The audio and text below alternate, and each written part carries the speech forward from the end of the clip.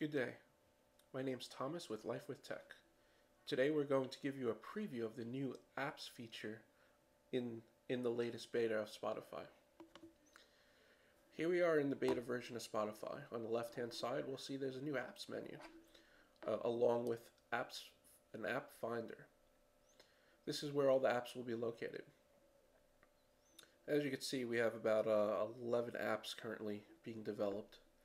Um, it's very easy to add it. We click the little add button and we'll see it pop up in that menu on the left hand side.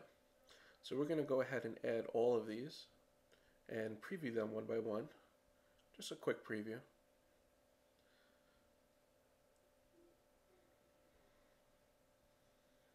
Okay, we have them all added. We'll start from the top. Billboard's top charts. So here we'll see uh, the add-on lists all the their top billboards, 200 hip hop. We could, we could subscribe to the list. We could share them. We could start playing individual songs. Next we have Fuse.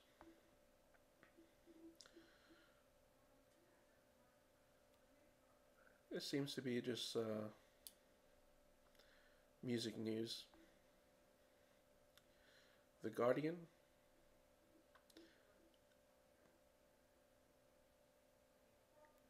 Again, it seems like uh, critic reviews on specific songs and bands. Last, a Last FM. Let's take a look what that looks like.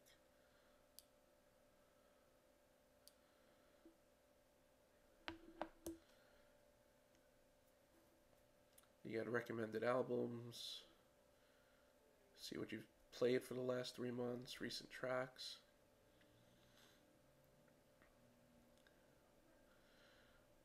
Moodagent.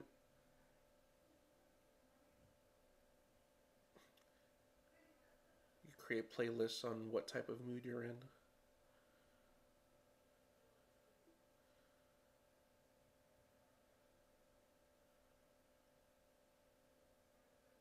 Pitchfork.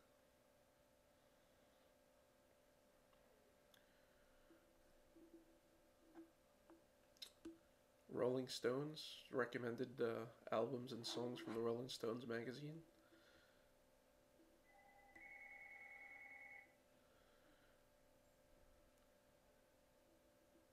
Songkick concerts.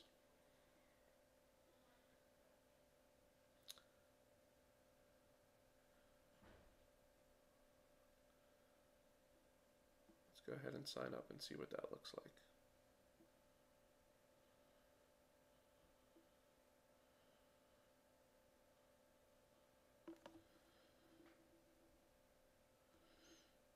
Okay, it's scanning my playlist and library to track artists.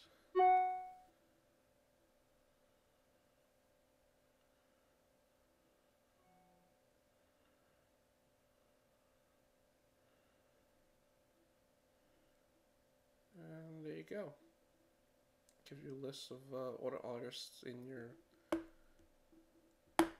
in your list where they're playing. Michael W. Smith, Casamiso on the 15th. It's pretty cool. Okay, next one, Soundrop.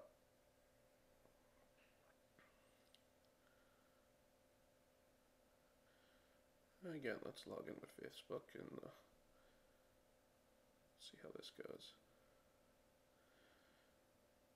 So I assume that you could start listening to something here and other people on Facebook and whatnot could uh, listen to the exact same thing, same playlist.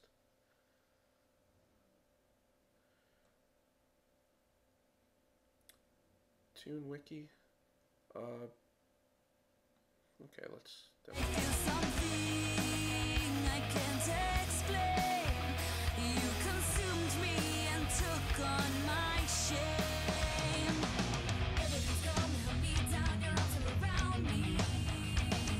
Seems to work pretty good. Okay, we are hunted. I think this is like a like indie uh, albums and artists. All right. Um, that's apps inside uh, Spotify's new beta. Uh, I think there's a lot of potential here. Uh, this could open up a lot of things. Uh, I'm glad to see they're doing this.